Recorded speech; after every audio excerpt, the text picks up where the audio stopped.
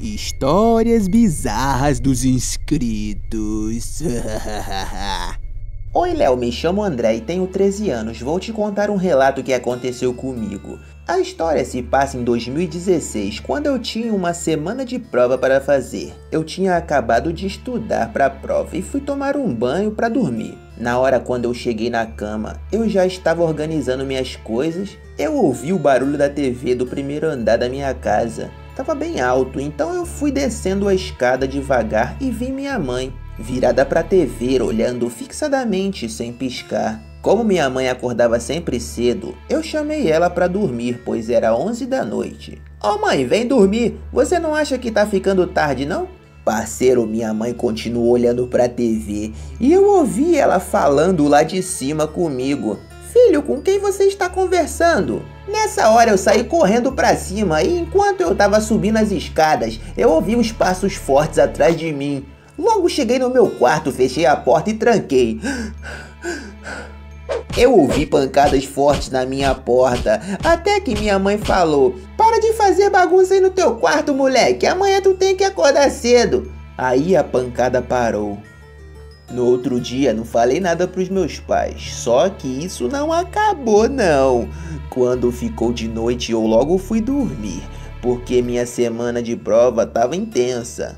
Mas não conseguia dormir de novo devido ao som alto da TV. Fiquei pensando se podia ser a coisa que bateu na minha porta. Então fui lá ver. Das escadas, vi meu pai assistindo a TV, só que não piscava. Hum, aquilo não me tava cheirando coisa boa. Eu vazei dali, fui pro quarto deles checar, né? E pra minha surpresa, os dois estavam dormindo. Que que tá acontecendo aqui, mano? tranquei a porta deles, a minha, e fui dormir. Na manhã seguinte, enquanto tomávamos café da manhã, minha mãe perguntou: Ô filho, você que trancou o quarto da gente? Ah, foi sim, mãe, para ficarmos protegidos.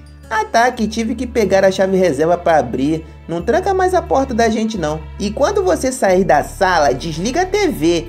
Já é a segunda noite que a TV fica ligada e não tem ninguém assistindo. De vez em quando acordo, a TV está ligada. Eu já imagino que seja aquilo.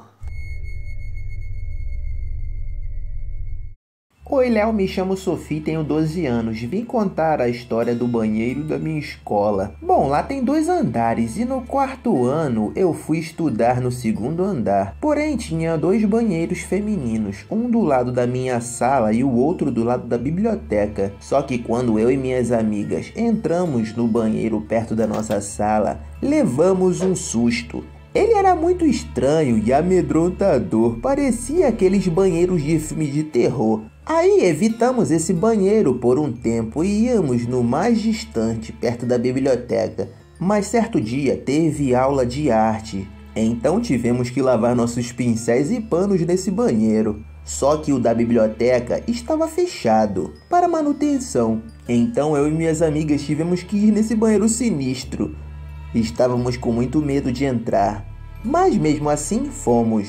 Só que de repente, enquanto lavávamos, Percebemos que a porta da cabine do banheiro havia sido aberta por uma vassoura. Terminamos de lavar os pincéis rapidamente e fomos embora. Depois disso, não fomos nele. Ficamos com aquele acontecimento na mente, se por um acaso foi um espírito ou algo que moveu aquela vassoura. Então resolvi instalar um detector de fantasmas no meu celular para checar o banheiro. Então avisei minha amiga e dois meninos e fomos. Chegando lá, o banheiro estava fechado. Tinha um aviso na frente da porta dizendo que estava faltando água ali. Entramos lá e eu apontei meu celular com o app de caça-fantasmas, né, para ver se eu descobria algo. Quando olhamos para a tela, ele havia detectado um fantasma e estava dentro do box. De repente, escutamos o barulho de descarga e a porta se abre. Conseguimos ver pela tela que era uma moça com um uniforme branco e com uma fita vermelha bem rasgada na cabeça. Printamos a tela e saímos correndo dali. Meu Deus, o que, que era aquilo? Um fantasma, realmente, no banheiro. Já dentro da nossa sala de aula, fomos ver o print e não havia nada. A gente se apavorou com isso e decidimos perguntar para algum responsável da escola sobre aquele banheiro misterioso. Aí um dos coordenadores contou o seguinte: que anos atrás uma garota sofria bullying. Seu cabelo era muito invejado e as inimigas ficavam sacaneando, picotando com tesoura, tacando chiclete nele, entre outras coisas. Até que um dia ela se cansou de tudo isso e morreu naquele banheiro. Desde então, sua alma vaga pelo banheiro para se vingar das meninas que fizeram mal a ela naquela época. Fiquei surpresa e meus amigos também com a história, e até hoje o banheiro é pouco usado pelos alunos devido ao seu ar sombrio e sinistro. Olá, Léo, vou te contar uma história que aconteceu comigo. Eu vivia sendo zoado e agredido na minha escola por um cara muito mais velho que eu, mano. Ele era conhecido como o Coisa. Isso porque ele era careca e aparentava aquele personagem de pedra, tá ligado? Eu estava no quinto ano e sempre que chegava na hora do recreio, esse maluco vinha encher meu saco. Vinha pegar o pagamento do dia ou comer meu lanche. Esse otário pegava dinheiro de outras crianças também. Um dia eu resolvi não levar nem grana nem lanche para punir esse otário. Então, quando chegou a hora do recreio, como sempre, veio me pressionar contra a parede para me roubar. Só que disse que não tinha nada. Ele não acreditou, vasculhou os meus bolsos. Foi um erro tremendo. Ele me agrediu e voltei todo lascado para casa. Meus pais foram no colégio para tomarem uma providência, só que os pais dele nunca iam na escola. Só o que conseguiam era suspender ele e mandavam bilhetes para os pais assinarem. Na verdade, acho que esse maluco não tinha nem pai, mano. Depois que ele voltou da suspensão, apanhei mais um pouco por ter falado pros meus pais. Então eu comecei a me esconder no banheiro na hora do recreio, cara. Saí o mais rápido que podia antes do sinal tocar e o coisa me interceptar. Consegui me esconder por quatro dias apenas. No quinto dia, ele me viu indo pro banheiro e não tive escapatória. Percebeu que eu tava me escondendo e me cobrou todos os dias que me escondi e os que ele tinha ficado suspenso também, mano. E se eu não pagasse até o final da aula, iria acabar comigo. Eu só tinha o dinheiro para aquele dia ali pro lanche, mano. Só fiquei pensando na hora da saída.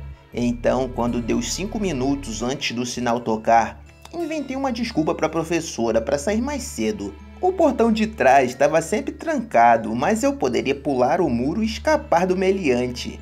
Comecei a escalar e quando eu estava no topo, o coisa aparece correndo para me pegar. Ele estava vindo numa velocidade absurda, mano. Então ele impulsionou na parede e conseguiu agarrar o muro. O maluco parecia um gorila, cara. Fui andando pela beiradinha do muro, cara, e me afastei, né?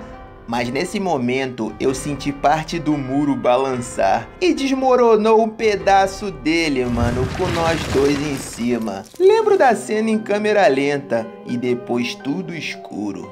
Eu não via nada. Depois de alguns minutos, consegui abrir os olhos. Estava tudo preto. Vi o coisa caído ao meu lado. Eu não conseguia andar e de repente aparece alguém de capuz e diz: não chegou a sua hora. O que você está fazendo aqui?